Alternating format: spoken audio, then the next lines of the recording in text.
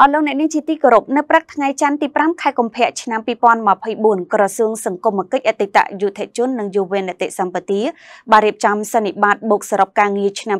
2023និងលើកទិសដៅការងារឆ្នាំ2024ខណៈបិទសន្និបាតវិញនឹងត្រូវធ្វើឡើងនៅព្រឹកថ្ងៃទី6ខែកុម្ភៈឆ្នាំ2024ក្រោមអធិបតីភាពរបស់សម្ដេចមហាបវរថាបតីហ៊ុនម៉ាណែតនាយករដ្ឋមន្ត្រីនៃព្រះរាជាណាចក្រកម្ពុជា នៅព្រឹកថ្ងៃច័ន្ទទី5ខែកុម្ភៈឆ្នាំ2024នេះក្រសួងសង្គមគិច្ចអតីតយុទ្ធជននិងយុវនីតិសម្បទារៀបចំពិធីបើកសន្និបាតបុកសរុបការងារឆ្នាំ2023និងលើកទិសដៅការងារសម្រាប់ឆ្នាំ2024ពិធីបើកសន្និបាតរៀបចំឡើងក្រោមអធិបតីភាពលោកជាសុមេធីរដ្ឋមន្ត្រីក្រសួងសង្គមគិច្ចអតីតយុទ្ធជន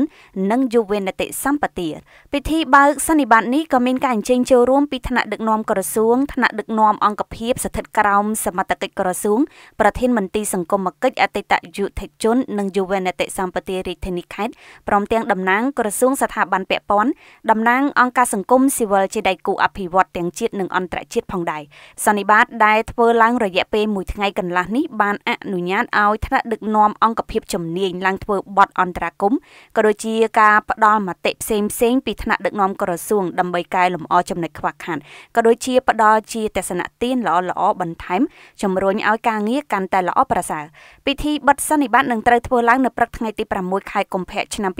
2024ក្រោមអធិបតីភាពសម្ដេចមហាបវរថាបតីហ៊ុនម៉ាណែតនាយករដ្ឋមន្ត្រីនៃកម្ពុជា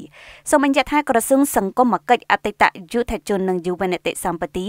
បានបង្កើតតាមព្រះរាជក្រមលេខសនរកត01050001ចុះថ្ងៃទី7ខែមករាឆ្នាំ2005ក្រសួងសង្គមគិច្ចអតីតយុទ្ធជននិងយុវនីតិសម្បទាបំពេញបេសកកម្មជាសេនាធិការឲ្យរាជរដ្ឋាភិបាល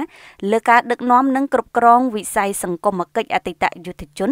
និងយុវនីតិសម្បទានៃព្រះរាជាណាចក្រកម្ពុជាក្រសួងសង្គមគិច្ចអតីតយុទ្ធជននិងយុវនីតិសម្បទាមានមុខងារនិងភារកិច្ចរៀបចំនិងអនុវត្តគោលនយោបាយយុទ្ធសាស្ត្រទិសដៅនិងផែនការរួមរបស់រាជរដ្ឋាភិបាលក្នុងវិស័យសង្គមគិច្ចអតីតយុទ្ធជននិងយុវនីតិសម្បទារៀបចំគោលដៅនយោបាយផែនការយុទ្ធសាស្ត្រផែនការសកម្មភាពគោលដៅទិសដៅកម្មវិធីយន្តការក្នុងការគ្រប់គ្រងដឹកនាំចាត់ចែងផ្ដល់សេវាគាំពារដល់មុខសញ្ញាក្នុងវិស័យសង្គមគិច្ចអតីតយុទ្ធជននិងយុវនីតិសម្បទាកសាងនិងអនុវត្តលិខិតបទកថានកតិយុត្តគោលការណ៍ណែនាំនិងផែនការពាក់ព័ន្ធនឹងវិស័យសង្គមគិច្ចអតីតយុទ្ធជននិងយុវនីតិសម្បទាស្របតាមលិខិតបទកថាជាតិនិងអន្តរជាតិសិក្សាស្រាវជ្រាវបែបវិទ្យាសាស្ត្រលើផ្នែកសង្គមគិច្ចគ្រប់គ្រងការងារស្មុំកូនក្នុងប្រទេសនិងអន្តរប្រទេសដឹកនាំគ្រប់គ្រងនិងសហការជាមួយដៃគូអង្គការមិនមែនរដ្ឋាភិបាលនានាដែលធ្វើសកម្មភាពលើវិស័យសង្គមគិច្ចអតីត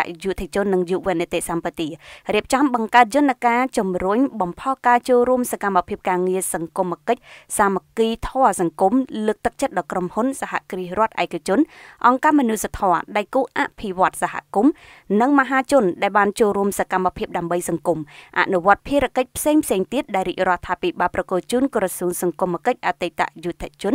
និងយុវនីតិសម្បទាបូរីមេកុងឡែនបង់ប្រចាំខែចាប់ពី400ដុល្លារឡើងទៅបូរីមេកុងឡែនផ្ដើមជីវិតរីករាយនិងជោគជ័យនៅទីនេះ